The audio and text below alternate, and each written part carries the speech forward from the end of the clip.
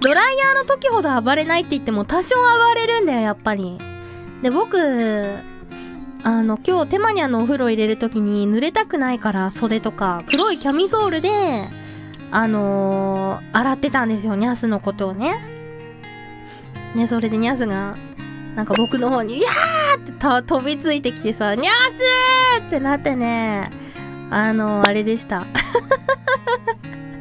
なぜかわかんないけど、ちょうどその、谷間のあたりにね、あの、傷がついたっていう。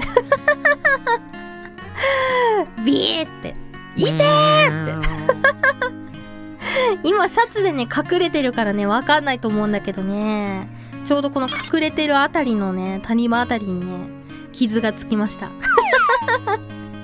マジ痛かったんだけど。いてーって そう、まあでもね、まあ、丸洗いできたからいいかな、ニャスを。でもマジ痛かったんだけど